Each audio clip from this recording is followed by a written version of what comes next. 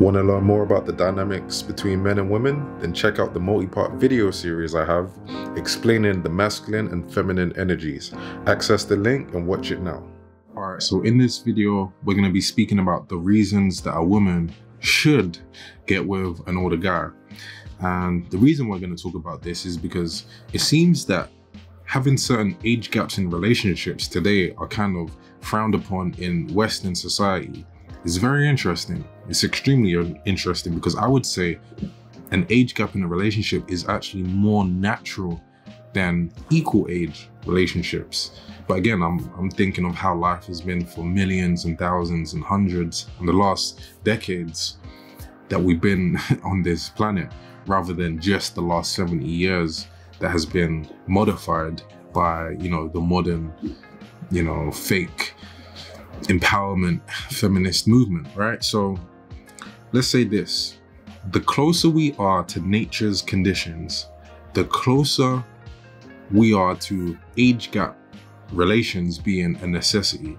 So because this society has socially engineered equality, that is where I believe this confusion or this belief that there shouldn't be an age gap. Now, I'm not saying there should be, I'm just saying it's actually, it, there's nothing wrong with it, is what I'm trying to say. So you have some people say like five years, a five year age gap. Let's say a 22 year old gets with a 27 year old or something like that. That's weird to them.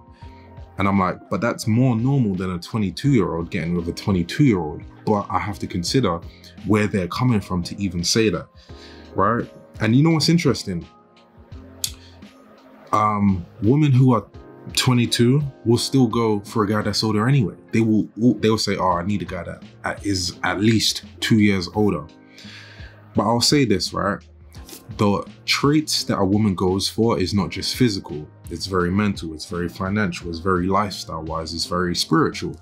So the traits that a woman goes for increases in a man as time goes on, as he gains more experiences. That's why they say uh, a, a, man ages like fine wine. He gets better with time, but you know, women age like milk because their, you know, their value is heavily put into their fertility and so on, which is in their younger years, and it falls off as they get older and they're less fertile. But for a man, it's not really about that because his fertility remains until the age of practically death, I believe, for most men. And um, what the women go for men, uh, what the women go to men for, the men get more of as they increase in age. So for example, if a woman goes for confidence, if she goes for a guy with status, if she goes for a guy with intelligence, if she goes for a guy with life experiences, bedroom experiences. All of these things increase as time goes on. I didn't even, I forgot to mention money.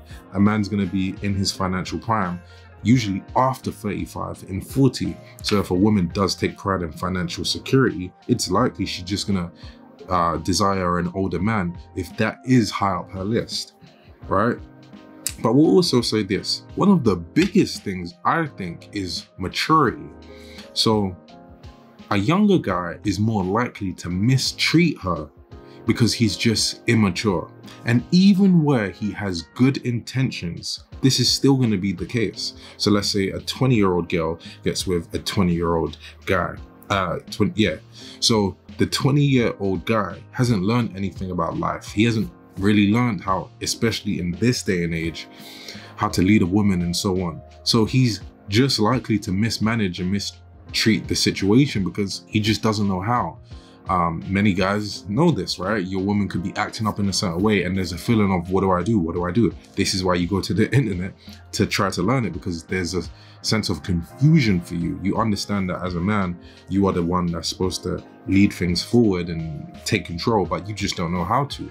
Whereas a woman doesn't really it's not there she's expecting the person on the other side to do it and she finds that more with a man who is mature and has life experience what's interesting is even if he has good intentions to be a good guy you know at 20 or 21 it still doesn't matter. He could still just mistreat her because he just doesn't know how you know? He just he don't know how to handle certain situations. Um it's very interesting it's very interesting. I have a traditional mindset so I would never think that that's weird. Now, I'm not saying um, that it should be, you know, there should be an age gap. I'm just saying that an age gap is pretty normal, and if anything, is more normal than the alternative. And the problem with this is a lot of people try to define it, right? So they try to define how many years is okay, but what gives you the right to do so? So if you say two years, why not three? you know, it's very interesting. If you say three, why not four? And what validates the four being wrong from that person saying it? And you say three, but because you said it, it's okay.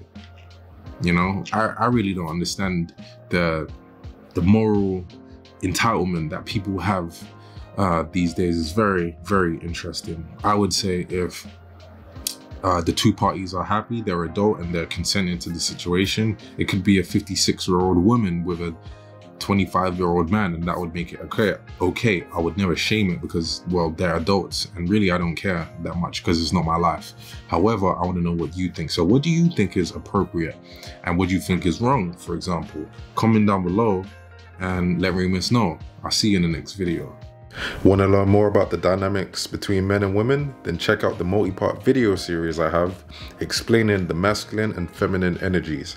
Access the link and watch it now.